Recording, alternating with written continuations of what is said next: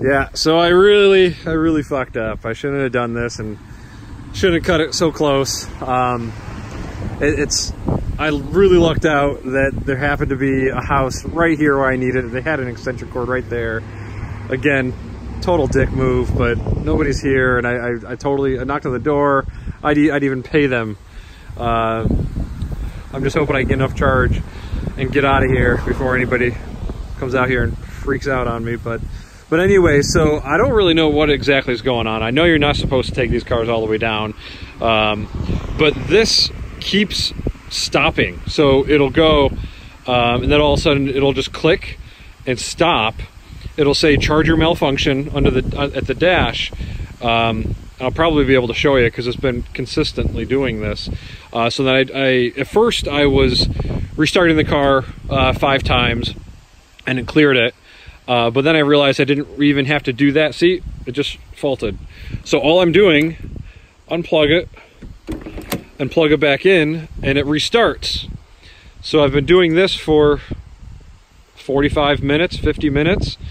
And I actually, as soon as I pull over, uh, there happened to be a guy who saw my car and my trailer. I'm in the country right now, and he pulled over and he just left. He's been here hanging out. He, he knew about electric cars. He was really into all this stuff.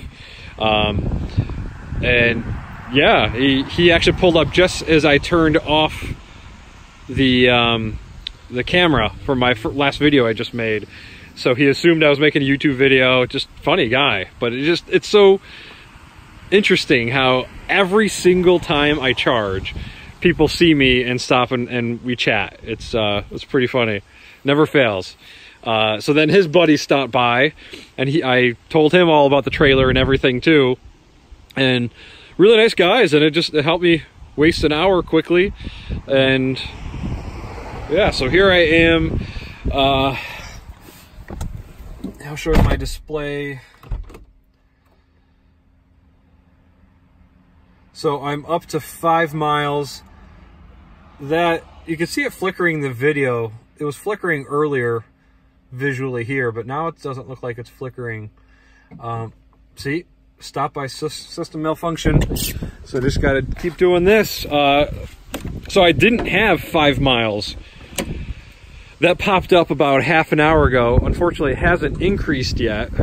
Uh, I'm only 1.6 miles from my house, and it's all downhill. Um, but I just, I'd like to see that tick up to at least six, just so I, I, I know that it's, it's charging. It says it's charging right now.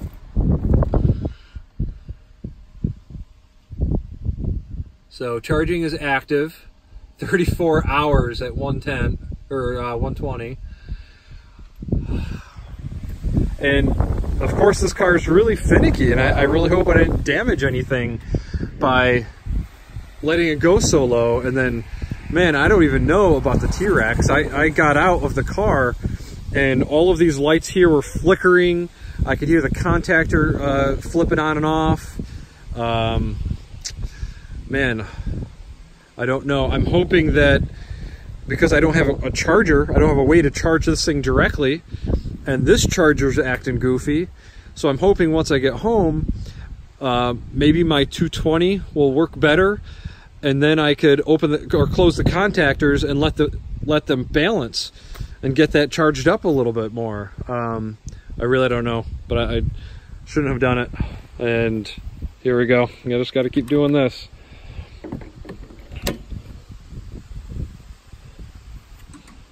I passed so many chargers.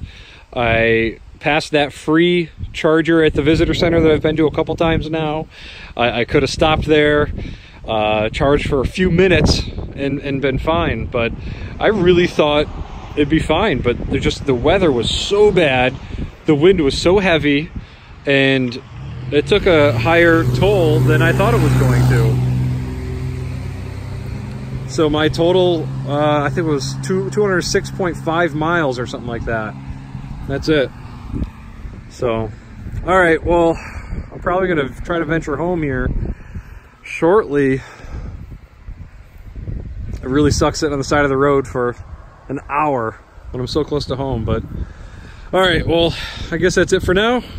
Wish me luck.